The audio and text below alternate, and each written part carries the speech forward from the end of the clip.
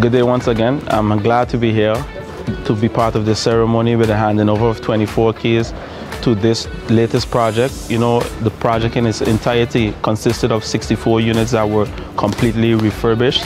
I must say that this is a great way to start the year.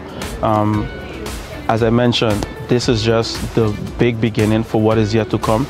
Block 37 is the next on our list in terms of tackling and repairing and refurbishing. I must thank the St. Maarten Housing Development Foundation for the progress thus far. All the civil servants within the Ministry of VROMI and General Affairs that played a pivotal role in making this a success. The Trust Fund, the National Recovery Program Bureau, the Dutch government, everyone that played part of this and making this a reality. I must say my sincere appreciation. Even those that are in the background, that are on the forefront, they too contributed. Um, this is the first time in the inception of Belvedere that such a major overhaul has taken place. And for me, I just see great things in the future and greatness is yet to come for 2023 and beyond.